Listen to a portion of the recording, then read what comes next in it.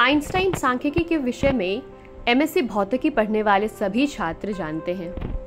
इस सांख्यिकी का विकास भारत के जाने माने वैज्ञानिक सत्येंद्र नाथ बोस ने किया था। उनके साथ आइंस्टाइन का नाम जुड़ा था।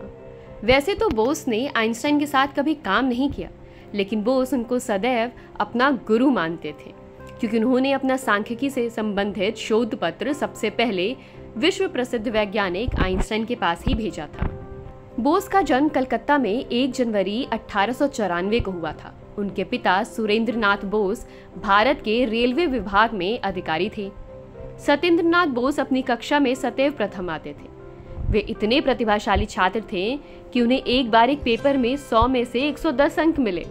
जी हाँ यह गणित का पेपर था और उन्होंने इस प्रश्न पत्र में पूछे गए प्रश्नों को एक से अधिक तरीके से हल किया था। उनकी इस अभूतपूर्व प्रतिभा को देखकर एक अध्यापक ने यह भविष्यवाणी की थी कि यह बालक एक दिन महान गणितज्ञ बनेगा। सन 1915 में उन्होंने पूरे कलकत्ता विश्वविद्यालय में प्रथम स्थान ग्रहण किया था। सन 1916 में एमएससी करने के बाद वो ढाका विश्वविद्यालय के भौतिकी के अध्यापक हो गए।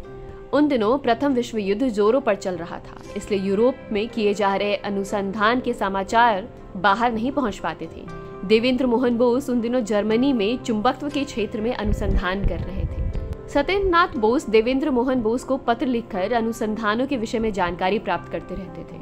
सन 1923 में रीडर बनने के बाद बोस ने एक शोध पत्र लिखा, जिसे उन्होंने एक ब्रिटिश पत्रिका में छपने के लिए भी भेजा। इस शोध को पत्रिका ने अस्वीकार कर दिया। यहीं से बोस का मशहूर होने का इतिहास शुरू हो गया। शोध पत्र के अस्वीकार होने पर यह विचलित नहीं हुए। बल्कि उन्होंने शोध पत्र को आइंस्टाइन को भेजा। आइंस्टाइन ने इस पत्र को जर्मन में अनुवाद करके जीत फॉर फिजिक नामक पत्रिका में प्रकाशित करवाया। आइंस्टाइन ने बोस को स्वयं एक पत्र लिखा कि तुम्हारा कार्य गणित के क्षेत्र में एक महत्वपूर्ण कार्य है। इसके बाद बोस का नाम आइंस्टाइन के साथ बोस आइंस्टाइन सांख्यिकी के रूप में हमेशा के लिए जुड़ गया। बोस ने मैडम क्यूरी के साथ कार्य भी किया। पेरिस से बर्लिन गए। वहाँ उनका आइंस्टाइन ने भव्य स्वागत किया। सन 1945 में वे ढाका छोड़कर कलकत्ता विश्वविद्यालय में प्रोफेसर बन गए। सन अठारह सौ छप्पन में अवकाश ग्रहण करने के बाद उन्हें विश्व भारती विश्वविद्यालय का उप कुलपति बनाया गया। सन उन्नीस में उन्हें रॉयल सोसाइटी का फेलो बनाया गया। इसी वर्ष उन्हें भारत सरकार ने पद्म विभूषण से सम्मानित भी किया और राष्ट्रीय प्रोफेसर बनाया।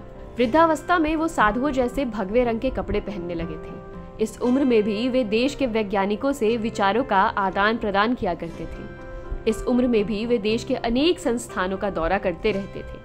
विज्ञान की सेवा करते हुए सन 1974 में इस महान वैज्ञानिक की मृत्यु हो गई। दोस्तों, आपको ये हमारा वीडियो कैसा लगा, हमें कमेंट करके ज़रूर बताएँ। साथ ही साथ इस वीडियो को लाइक या शेयर करना ना भूलें। इस तरह की तमाम रोचक और दिलचस्प कहानियों के लिए हमारे चैनल हिस्टोरिकल इंडियंस को सब्सक्राइब करें और बेल आइकन को टैग करें ताकि आप हर अपडेट पर बने रहें।